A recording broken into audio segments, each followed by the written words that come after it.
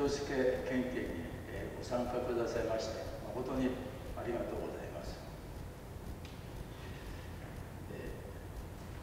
力之助、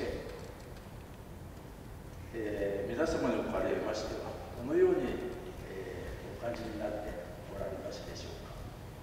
今から100年以上前の人です。当然皆様、えー、会ったこともありません、えー、時代背景というのも違いますし、え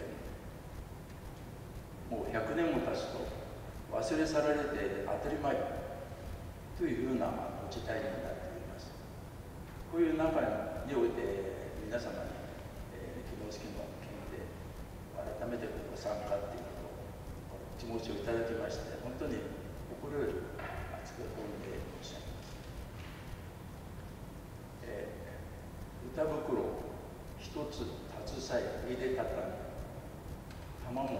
7年ミリを達してこれは力之助の最後の歌「知性の歌」です、えー、これから旅立つにあたってもう何もいらない無欲を表した歌です、えー、今「持たずして」というふうにありましたけれど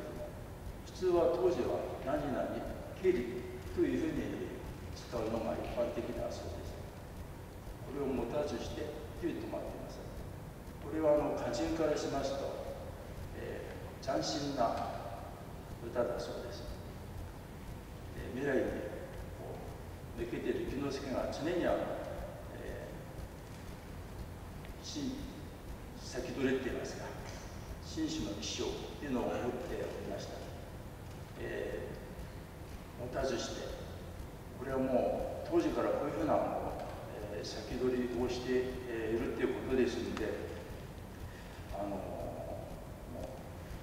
えー、歌としては、えー、500年後500で先にも響き届けというふうなだそうでもあります、えー、この歌が100年後の今ちょうど皆様の、えー、お心の中に届きまして、えー、それでこういうふうに、え、ご参加いただいたのではないだろうかなというこういう感じで思っています、え、まずこういうふうなせっかくのあの機会ですのでえ皆様どうぞ、えー、之助の、えー、今後のですね、え持心の、えー、伝える橋渡し役って言いますか。そういうふうに、え、なっていただければ大変あの嬉しく思っております、えー、たまたまですけれども偶然ですけれども今日のあの新聞私今ちょっと初めて見ましたけれども今コピーしてきました、最近新聞に取り上げていただきました、えー、中期をみんなを若者にして、えー、あの22日から雪之助未来塾というのが開かれます、まあ、主に子どもさん、えー、大学生を、えーまあ、に絞った塾なんですけれども、えー、これがあの、まあ、地域活性化に生かそうということにもなります。えー、国の方のから、えーえー、助成金をいただきまして、それで市の方でいろいろあの、えー、頑張っていただきまして、大きな金額を、えー、頂戴することになりました。これも今後に、ね、理解していきたければなという感じで思っております。えー、どうぞ皆さん、えー、今後ともこの機会に一つ、木之助の思いというのを、えー、ぜひあの、取り入れていただいて、伝えて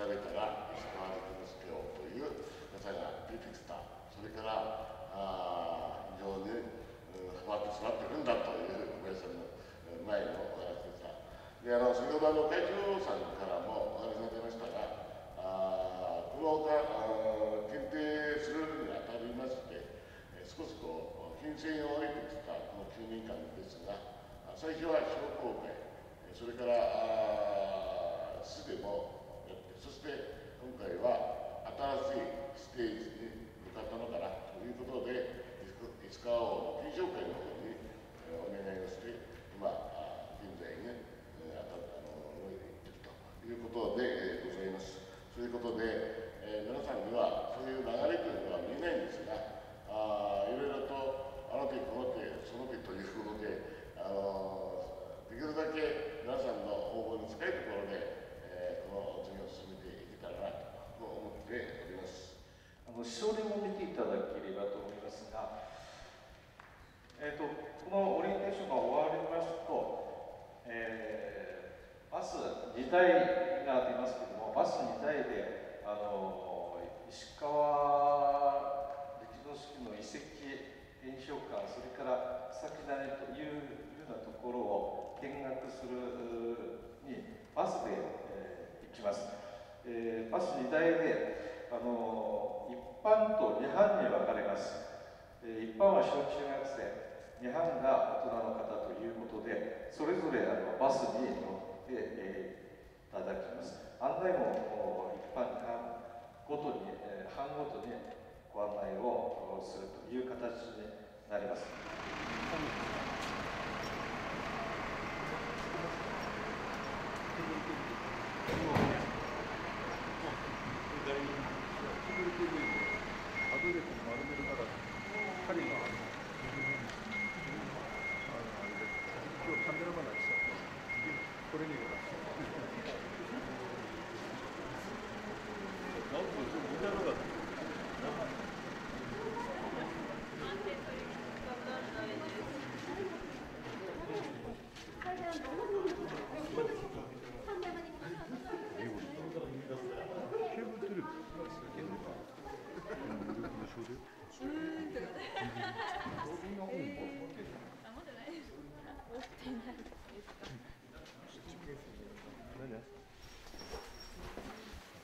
おはようございます。えっ、ー、と今日は検定のための見学ということでみんながここに来ましたけれども時間の都合で佐藤さんあ私電車課の佐藤と言います。よろしくお願いします。佐藤さんはあのみんな誰もいないけど検定に出るところだけお話します。いいですか？ね。だからテキストを見ながらみんなにお話ししますのでテキストをよく見ながらチェックをしながらお話を聞いてくださいそれでいいかないろいろみんなにいっぱいお話ししたいんだけども時間の関係でテキストに出る検定に出るところだけをお話ししますいいですね。はい。じゃあテキストを準備してそれ書くものマークするものを持ってください。一般受ける人。一般あ初級初級初級。123それから中級がで一般の人は問題が11問あります。それから中級が30問。同じように最後に作文があります。だから初級の人とお話しするのと中級の人にお話しするのとお話が一緒にしますのでここは初級ここが中級というふうに話しますいいですね。じゃあ1ページを見てください。みんな予習してきていますよね。テキストも早めにみんなに渡ってるからね。じゃあ1ページの石川力之助王とはということです。明治時代の農村指導者で生涯を勤労救済に捧げた人です。その隣に早起き勤勉しその生活に自らを厳しくりしそれに徹した人でした。ここまでが力之助というのはこういう人だよということですね。でその下に力之助が残した言葉があります。下の方だよ。寝ていて人を起こすことなかれありますよね。これは問題ありますよ。必ず。生きの助という時この言葉がありますから。ね。で地域の人はこの意味を考えてください。隣に書いてるよね。自ら率先して物事に当たればおのずと人はついてくるよっていうことがこの意味だよということ。いいね。それで地球の人。力之助は生涯30万首という歌を読んでおります。その中でここに3つありますね歌。ここにありますよね。中級の人だよ。ここにありますよね。この中で自分が一番好きなやつを一つだけ選んでおいてください。ということができるということだよね。わかる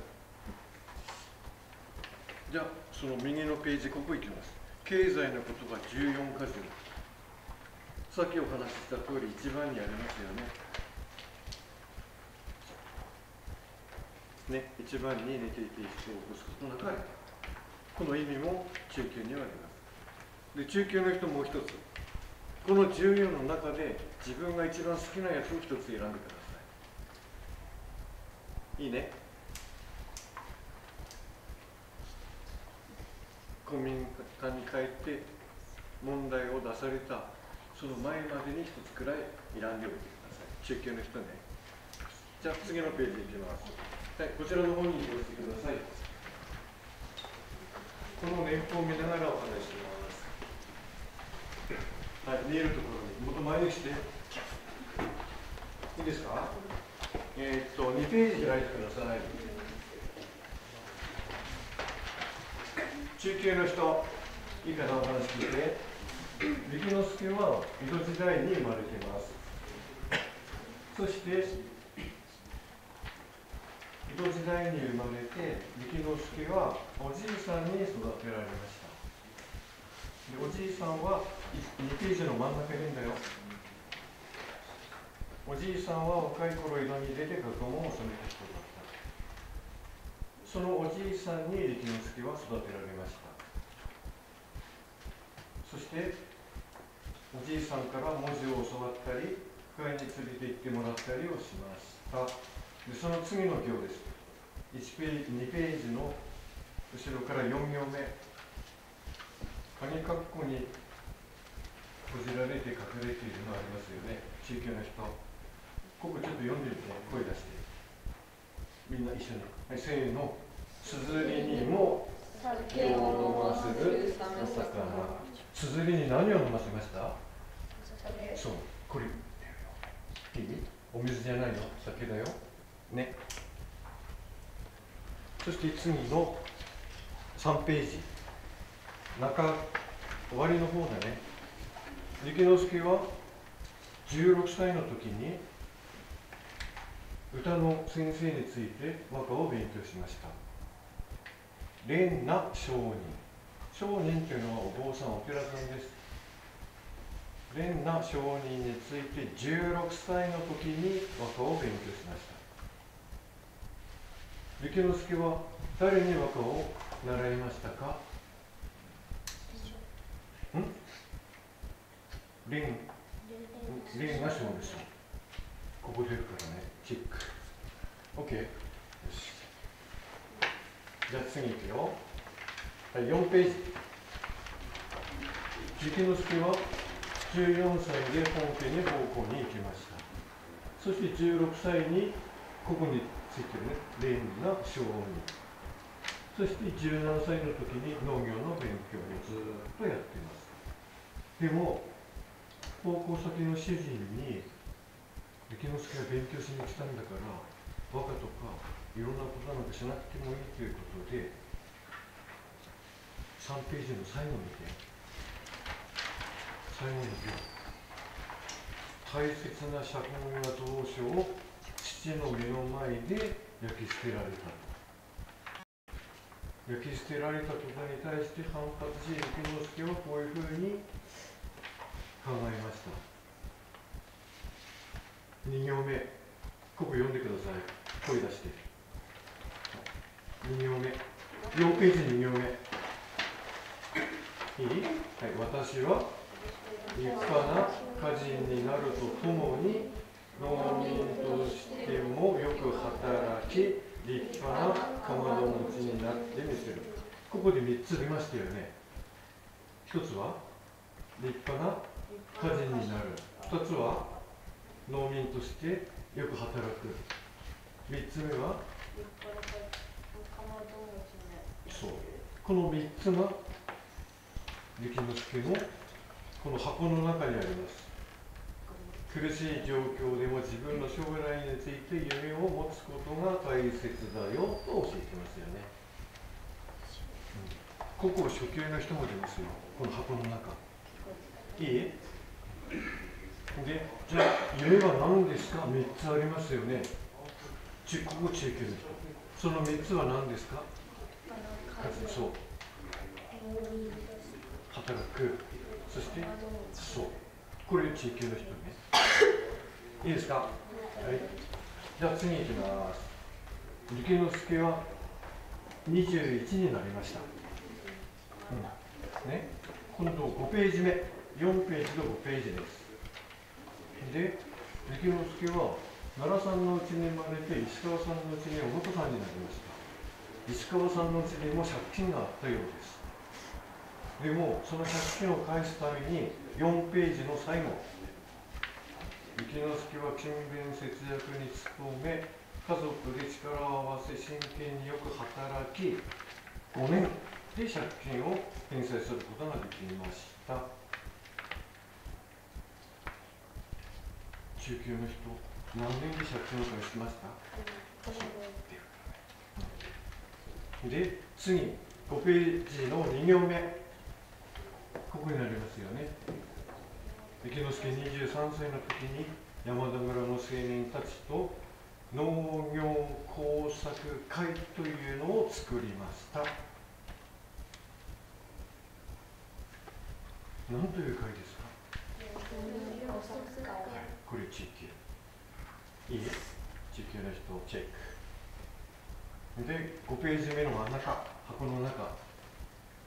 これ初級の人でいますよ問題が起きた時には一人で悩まないこと日頃から周りの人たちと仲良くし仲間づくりに努めることで協力を得て問題課題を解決できることもあるということを力之助はみんなに教えてくれています。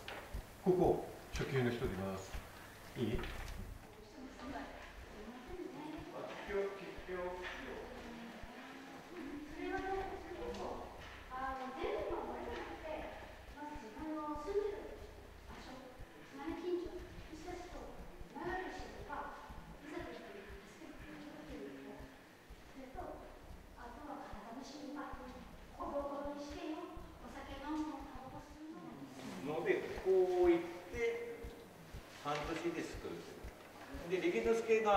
が書いた500に下げてあるでしょ、うん、500年後は500里っていうのは実はこれが2000キロなんですよ。だから鳴らしたのは九州の人にも届くように鳴らしてるという。すごいな。なんかまたドラマできそうだけど。俺今 NHK 大河と思わなかったそういう人だ。そしてこれが短歌ですね。唯一。1日に20種ぐらい作る。作らないと大体この25万種近くなります、うん、でも実際にはこれ以上になります、うん、30万種ぐらいです。さっきの話観光なんで、うん、これも昭和天皇が手に取ってみんなにてこただ見てこうだけどあ実際にあのいいつ前の思いつかの本とあすごい昭和天皇が昭和24年に来ましたよっていうあの乗ってきた列車の写真がポンとあります、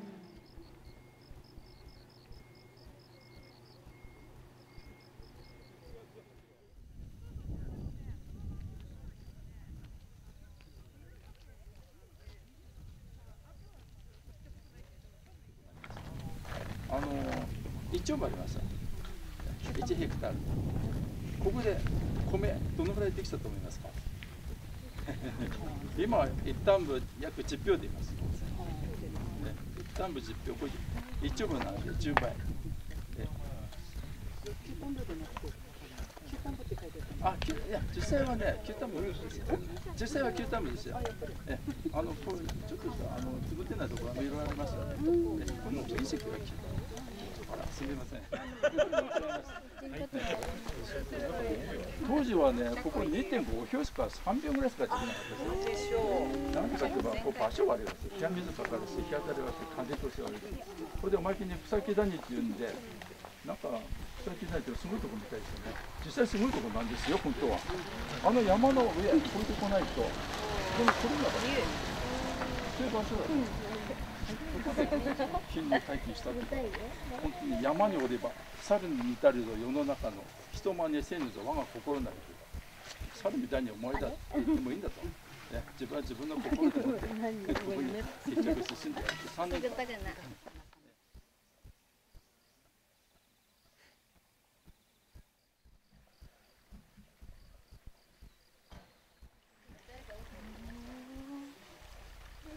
だえこっち牡蠣ですも。んということで私の説明はこれで終わりますこれすももここれかきこれかきこれ牡蠣相撲だぜ相撲これが100年前の口なんですよ。これじゃ太くならないですこれも100年前の口です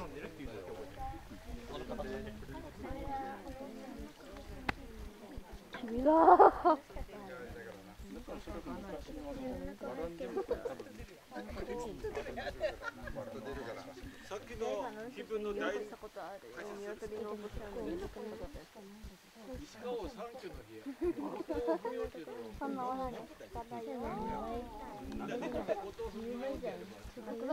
家建てられてる。寝ていて何が牡蠣まだ育ってないじゃん普通のこここういうここがこうではなくてこの字手はよ帝み帝のこう帝ほれ渓谷土が手手の字を略すとこう書いて寝ていはいる。今のい。手はまだこの字を別の書き方でこれも帝と言って。ね寝ていて人人は人。人を。おは普通のおだけ。ど、まあ、遠い字で打たればこうお。おこすは春、春って書いてこと中で中では連絡の連で草木谷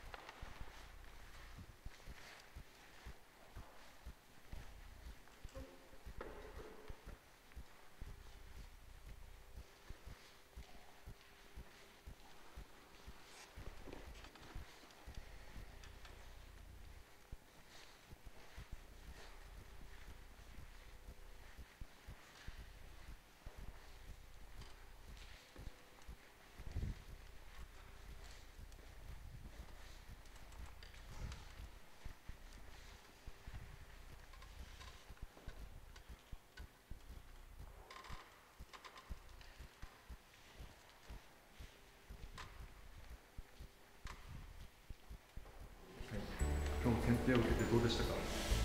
えーっといろいろなことを知れて楽しかったです。どのくらい興味持ちましたか？かなりモテたと思います。木之助のどういうところがすごいと思いました？なんだろうな。みんなを引っ張っていけるところですかね。はい、力之助検定を受けてどうでしたか？今回は3回目の挑戦だったんですけどと、まあ、前回よりもと詳しく知れて学べたので多分合格できると思います。あ、大丈夫だと思います。はい。どうでしたか？と去年よりは多くは回ってないけどと重要なところを分かりやすく説明してくれたので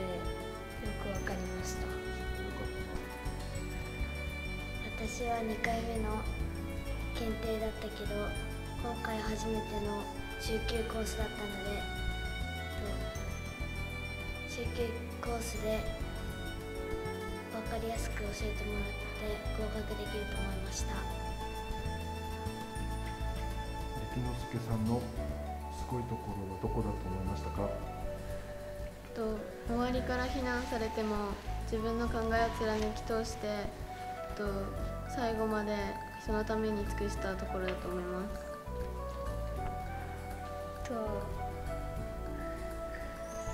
と救済するのが難しいところでもなんとかしてやろうと思うところが粘り強くてすごいと思います。私たちができないことを力之助さんがやっていてすごいと思いました。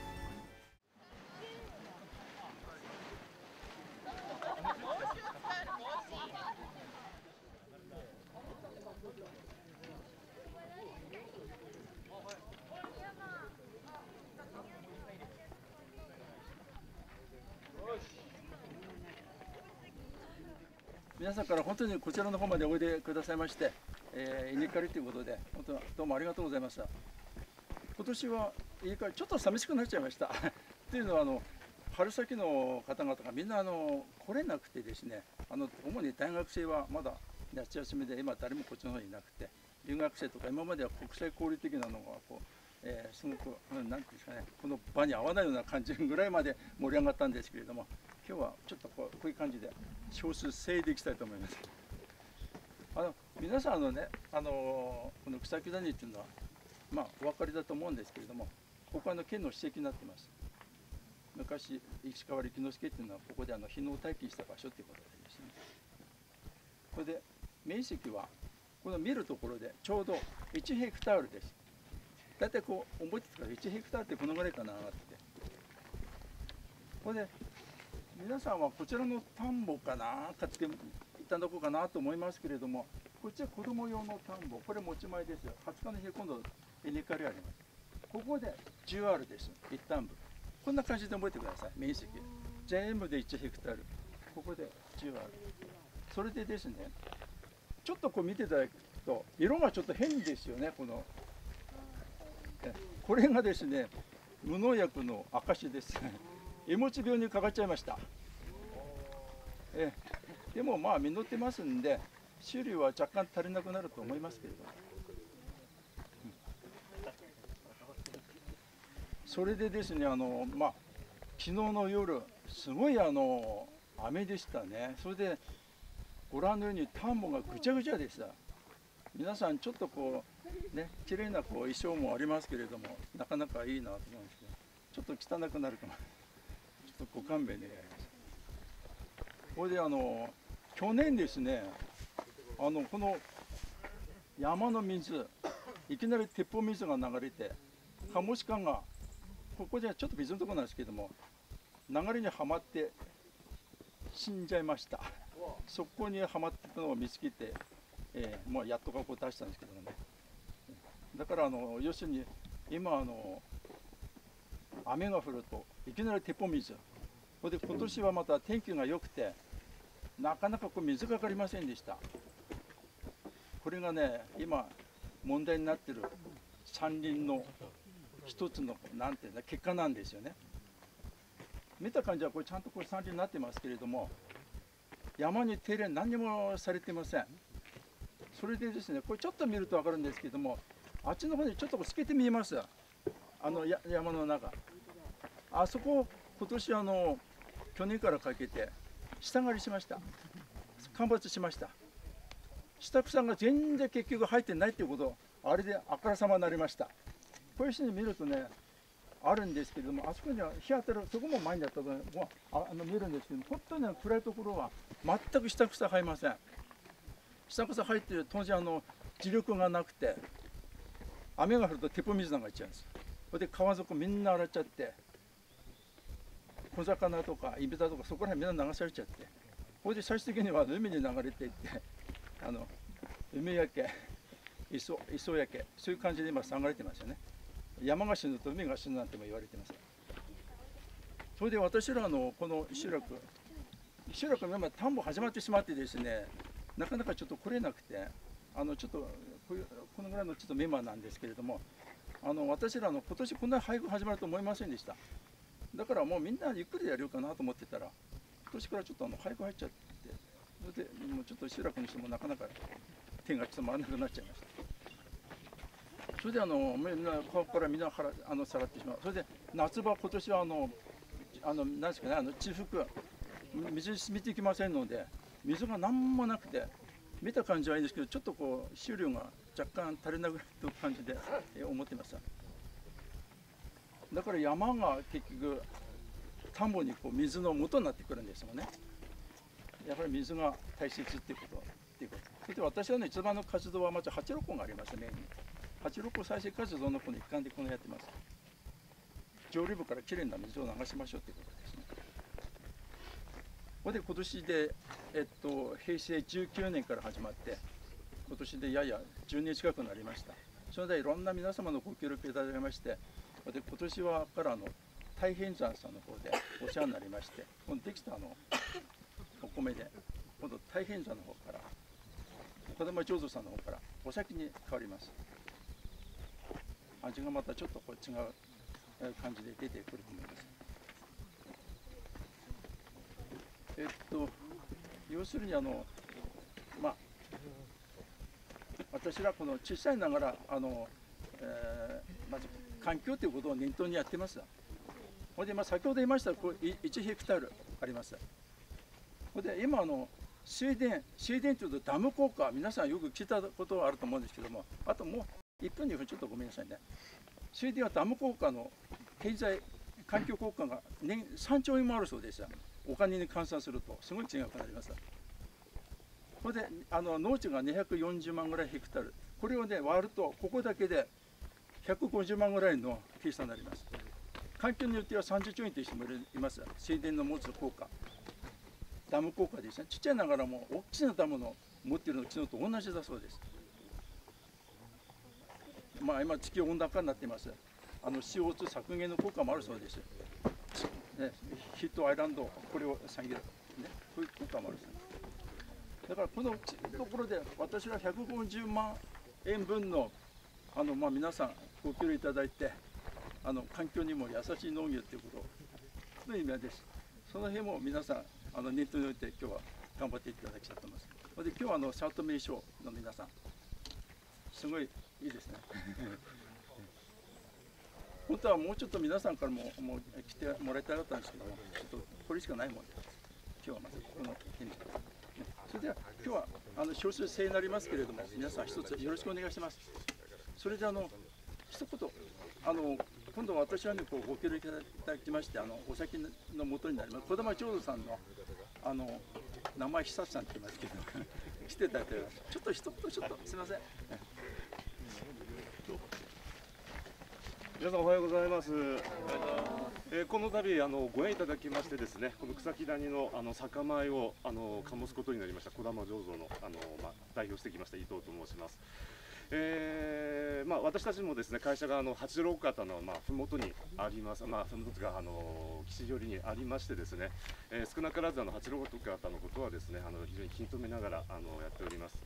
でまあ、この度ですね、あのー、まあ、石川さん、あと、えー、藤原さんの方からですねいろいろお声がけいただきまして、あのー、こちらの米をですね使ってお酒を醸すという、まあ、あの栄誉をいただきましてですねあの皆さんがあの心を込めて買ったあのお米はですね私たちが責任を持ってあのいいお酒にしたいと思います。えー、まあ、ちょっとまだお酒召し上がることできないですね、あの年代の方、かなりいらっしゃいますけども、まあ、あのおじいちゃん、お父さん、もしかしたらお母様かな、あのお酒好きな方がいましたらですねその酒をぜひ、まあ、あの飲んでいただきたいなというふうに思います。また来年以降もですねあのこの活動皆さんと共にですねあの継続していきたいと思ってますので、えー、一つよろしくどうかお願いします。じゃあそれとあと一言付け加えます。あのトイレの方あのうちの方のメンバーに言ってください。あの店主館の方に。あのえご案内します。それとあともう一つ忘れたんですけどもねあの神殿の元に山からの水が一番大切って言いましたよね。今日あの草木田に参っています。ここら辺の集落のお米。であのお昼あのおにぎりあります。どうぞちょっとこう食べてみて比べてみてください。一番の元はやっぱり水になるのかななんて実感していただければ嬉しいです。それであの今あの先祖のためには山の手入れが必要だって。何にもあの手入れ行ってないってことであの私らもあの山が健康でないと皆さんが死んでいくことかって言ってああって息すれば不健康になっちゃえば困りますんで山の手入れもしてます。健康なあのえ林を取り戻そうということで今私らも取り組んでいます。そしたらなんと今年は県の方で表彰されてしまいました。これで全国にノミネートされてですね全国にあので11月5日の日表彰受けることになりました。本当にそんな大切なことはないんですけどもまあぼちぼちとやってますんで一つ皆様もこれからなんとかえ温かい目でご協力をお願いいたします。ありがとうございました。それではよろしくお願いします。あじゃあ、えっと、これから稲刈り始めますけど稲刈りする田んぼ下の田んぼになります。で稲刈り初めてやる人いますか？初めてやる人草木谷のお兄さんたち教えてくれますんで。笑うところで。す聞いてください。で稲刈りした後はと食いかけっていうのをしますので天日干しします。はいじゃあ始めます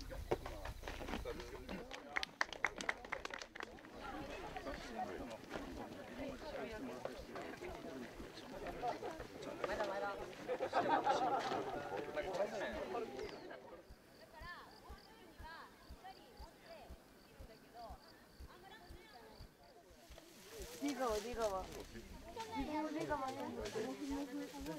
変わりたい最初カバン持つ時やっぱり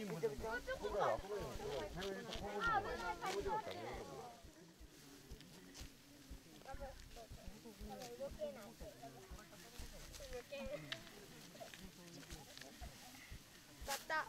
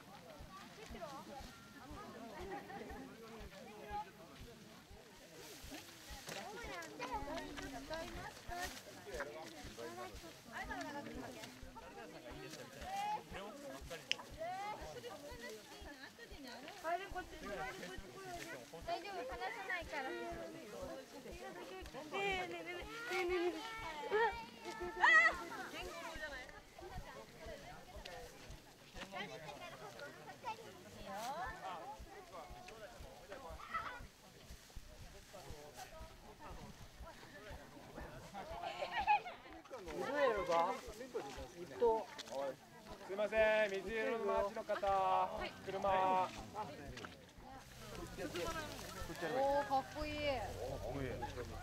江戸っ子だからや。ナスタちゃんは二人さあ熊さんのあれだ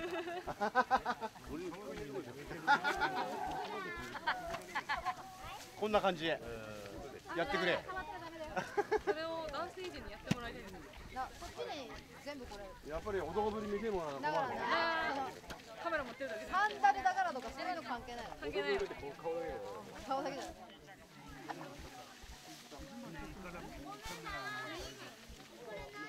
これヤゴヤゴってわかる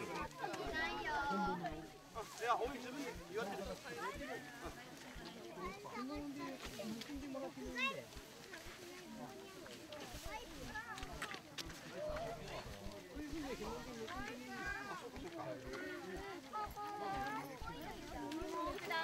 私らもモチベーションアップですごく楽しいです。えもうこのひ誰も人人のいないところの山里にこういうふうなあの子どもたちそして早乙女一緒の姿見ると覚醒時代のなんていうか時代の覚醒って言ったらいいですかね、うん。感がしますね、うん。昔は食や食わずの難儀した場所がこんな感じの楽しいメットのバーになってますからね、はい。ええおお、なんだ、そうそうそう。いった。左左手はあ、この人もいいんだ。この右手で、この人右手で、右 手で。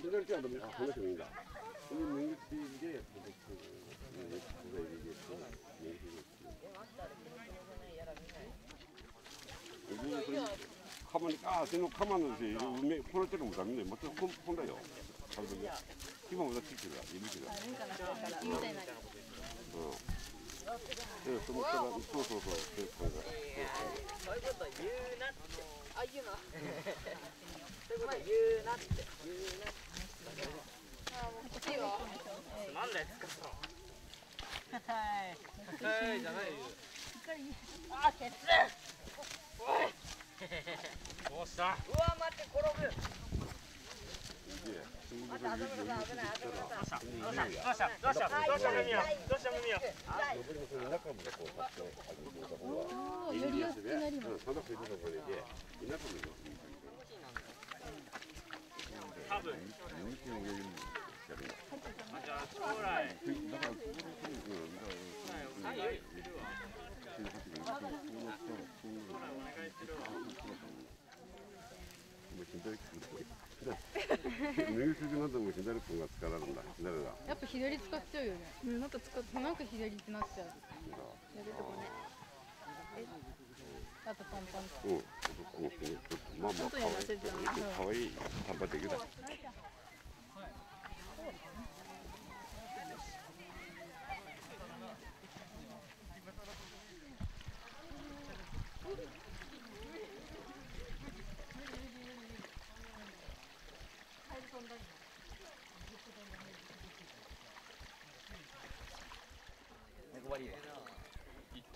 めっちゃ取られてい。と泳ぐ素晴らしい爆笑カットがこの後来れるんだろうなと思って期待して待ってる マジっすか？期待して待ってるぞ いや、俺ね、変わりやで普通に泳いでる。あ、ここにな、ここに？な。びっくりした。あ、でも、どうも、そうそう、分かれるぜ。お。うわ、言ってやろう。してやろう言ってやろう。デートに彼女3人いるって言ってやろう。意味わかんねそれは。完全に音入ってるよ。完全に音入ってるよ。俺は浮気しかしない。俺は俺は浮気はしない。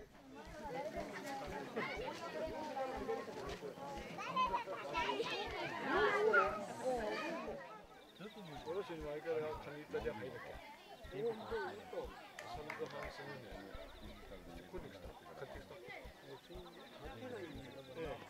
昨日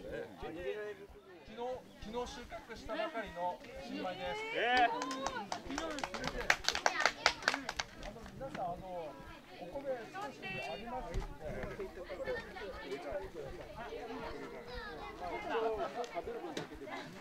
いや全部みんな持ち帰ってくださいね最終的に。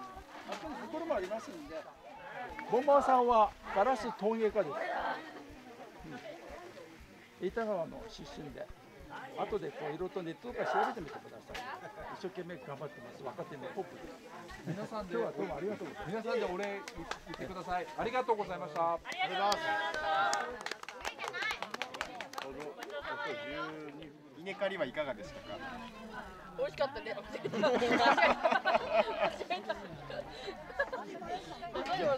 うだったね。直接直接食べたまあ我慢できなくてさ最後さどうですか？どうでしたか？しか聞こえなかったからさ。あおにぎりかな？と稲刈り稲刈りはどうでした？か稲刈り稲刈り楽しかったね。最後に今日午前中の総括コメントをいただきたいですね誰か誰か代表してお前ダメだお前ダメだいややっぱここは映像の最後の。今回今回最後の浅村さんだべ。あとねはい最後コメントお願いします。演劇部。将来声優。じゃあそれはいいよコメントでもいいし好きな女性のタイプでもいいし彼女募集でもい。い俺あのメールアドレス下に入れるからじゃんマジっすか俺彼女いるんだよな浮気だろい。や浮気はきつい。できない。殺されるわ。これがこれがあることによってまとめてですか？まあ俺以外みんな非リア充なんでみんなの彼氏あ彼女彼女彼氏？間違えたお前ゲイか彼氏募集中で入れとくからちゃありがとうございました。どうも。ありがとうございました。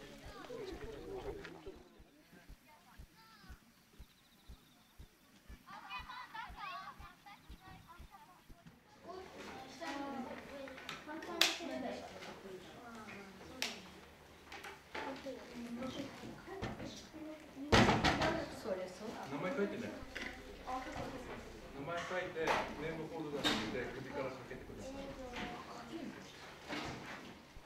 中学校1年生の高校名です。よろしくお願い。します。はい。中中学校1年のです。よろしくお願い。します。芦田市の桜小学校出身の大林と申します。7年前に、えー、とこの片上昭和の自然に憧れて引っ越ししてきました。へーそうなんですよろしくお願いします。今日は、えー、飯島のさあの補佐で来ました。よろしくお願いします。みんなと一緒に勉強して、えー、地域のお宝を一緒に探していきたいと思います。よろしくお願いします。はい、ということでね、じゃあ皆さん、これから今日どうしましょうか？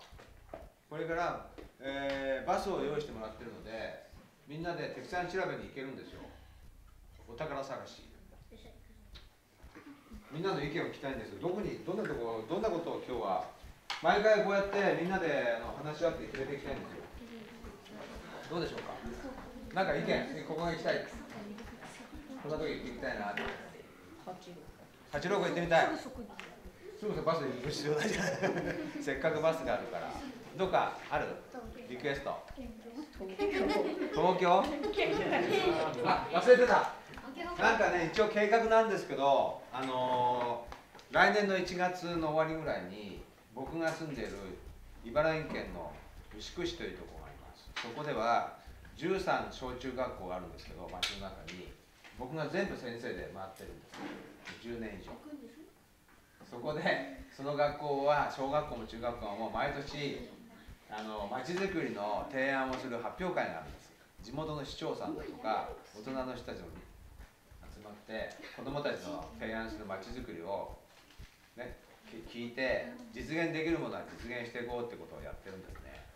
そういう町づくりの提案のあの発表会に、ここから、この未来塾から代表が何人かいけるらしいです。いけるらしいです。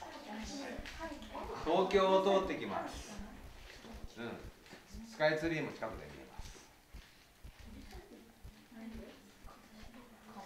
で僕があの僕があの関わってる霞ヶ浦って日本で大きい2番目に大きい湖を見ること見てもらいたいなと思ってます。あと草木台と同じようにあのこういう谷間の田んぼで荒れていたところを田んぼに戻して無農薬でお米作りをしてすごく大きな面積をやってるところがあるんだよこれ僕らのプロジェクトそういうところだとかそれからいろんな人に会ってもらったりしてたくさん勉強してもらいたいと思ってるんです。代表の人何人か来てもらって。それを持ち帰って秋田に持ち帰ってこれからの適材調べに生かしてほしいな、ね、石川力之助さんもあんなに100年以上前の人なのに九州だとか四国だとか日本中にネットワークを作ってるんだよね。日本中いろんなところに行って自分の考えを話したりねあのいろんなことをあの教えてあげたりして歩いてるんですよ。すごいですよね。あの時代さ新幹線もないですからね飛行機も、うん。そういうねみんなにもさぜひこの秋田の秋田にいて秋田のことをしっかりと学びながら同時に日本全国のいろんな人たちとつながり合ってもらいたいと思います。実は僕がやってる子供あの未来塾っていうのはもう一つあるんですよ。三重県に。三重県の伊勢神宮っていうね有名な神社。なんですそのねあのそばを流れてる宮川っていう日本で一番綺麗な川の一番上流の大台ヶ原ってね昔狼がいたとこなんですよ。日本が。その近くの小学校でを中心にあのものすごくもう子供が減っちゃってるところなんですけど山奥でやっています。未来塾。その子たちとも一度交流してほしいなと思っています。もちろんね都の塾ね小小学校の子たちとも小学校中学校の子たちなんかとも交流できたらいいかなとね思ってるところです。いろいろなんかこう夢は膨らむんですけどさてそこで皆さん今日はどうしましょうか？リクエスト。1回目どこ行きたいですか？どう？9個か9個が9個が行ってみたい。9個がってわかる？知らないよ。ねここは今ある八郎区は実はねこんな感じで昔の岸辺じゃないの、うん、だから自然があんまりなくなっちゃってるんだけど昔の面影はこの昔の水路の中に残っています。昔の植物が残ってたり生き物が生き残っていたり水もきれいです。ここは。青子が出ないです。そこに行きたいんですね。っていう意見が一つ。他には？佃煮屋さんに行くか。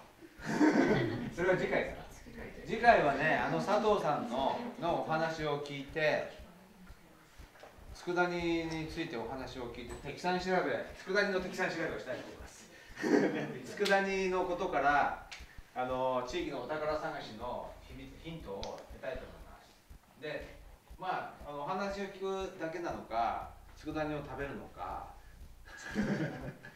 佃煮用の工場を見学したりするのかその辺はみんなでまた相談したいと思います、このほら力之助未来塾はもっとみんなしっかり勉強していろんなところで発表ができるようになったら滋賀県にも僕のお友達がたくさんいるので前の滋賀県知事は僕のお友達なんだよ。片由紀子なので滋賀県に行ってさ発表するのもいいよね。もう全国打って出ようよ。全世界。全世界行く？アフリカとか。ねアメリカとか。それは夢じゃないよねそういうあのなんかみんなで今回はバスだけどあのだんだん遠くにも行けるようになっていくといいよね、そんなことができるようにしていきたいと思います。ちょっと時間が余裕があるのでなんかこの未来塾についてこんなことをしてみたいなとかこんなことについてあの考えていきたいなとかなんかそういう提案とかないでしょうか？皆さんから。もちろん大人も結構。ないですか？ないかこんなこともやってみたいな。こういうこともどうでしょうか？提案。分かった？今日言った今日の話。分かりやすいよね。よく分かったでしょ？分かった？ピンとピンときた？よく難しかった？難しくないよね。難しかった？あんまりピンとこない。お宝探しってわかるよね。お宝探しするのわかるよね。じゃあ分かってる。そのお宝どこにあるの？お宝そのお宝どこにあるの？どこにでもあるものをお宝に変えるんだよね、うん、どこにでもあるものをお宝に変えるにはみんなの頭考え方が大事です。新しい考え方ができないと。できませんね網とどうしたよし網でこれ食えるよ。これ美味しいよ。美味しい？美味しい？美味しい。マツコが美味しいよ。あこれうまいよ。いいと思う。どこが入るか。いいと思う。ほた、ほた、じゃあこっちも。これ藤野うまいよ。い。や、靴下脱いだ方がいいよ。どこまで入れるか。どこまで入れる中向いて白いとこ食べればいい。うまい。食べれる。いい。らない。いらない。いらない。靴下脱いだ方がいい。俺のが。靴下もし脱いだの。網でやってみちょっと網網の使い方教えたんじゃんお前俺網の使い方教えたじゃないか。靴下が靴下に万が一のことがあれば。火の保証がない。うえ。うわ、でっけえおたまじゃくし。牛ガエルのオタマジャクシだらけ。よ。でっか。お前らもね、こうほら、石川力之助みたいに旅した方がいいよ。これが。何も入んなかった。うわ、なんかこっちの方までいいよ。俺は先へ進む。これね、羽衣持ってる外来種。羽衣。何もいないこれ売ってるよ、金魚持ってって。のフィギュアさんで売ってるやつこれ売ってるよ網の使い方違うって。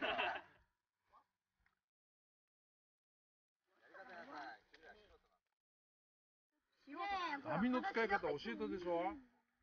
覚えてないの？食べれます。じゃあ食べましょう。中皮むいて。中の白いとこ取ってください。そうすると美味しいですか？美味しいですあーいらなってそうお宝だよお宝なんか裸足で入りたい誰だ違う学校か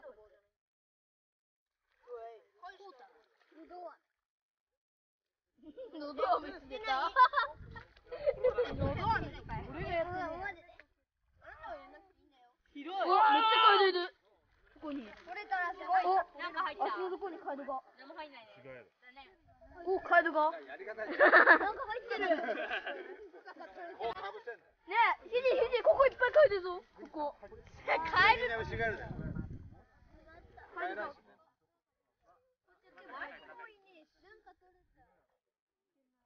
きはる。きまくっとけもめっちゃ。はるきで。めっちゃ入った入った。はいオッケー入った入ったなんかやべえ。なんか虫いっぱい入これは鯉だ恋鯉の子供見せてでなんか持ち帰らない鯉の子供一丁はい持ち帰るあ待ってあっちあれ虫いっぱいいるちゃんと取れるじゃんもう動きた早っ何何入ってもいいようわなんかやべえはるきどんな奥行ってんの？これタヌキモってんだよ。タヌキモあ虫かな。飯島さん。草植物。おこれはねコガムシ。コガムシ。ガムシ。水生昆虫。なんか入れ物入れよう。ガムシがいた。これはねこれもガムシ。水生昆虫あいやいやいやいやいやほらほら。おこれはひあのコガムシ。コガムシ答えだ。いや俺やってるおいだから次。おいっぱい。じゃんコガムシい。っぱい。竹でい。ってやばい。ちょっと世界的なそっちの奥行ってるあできるか上がろういいか上がろういいよいいよマジでやばい奥やばい奥マジでやばいお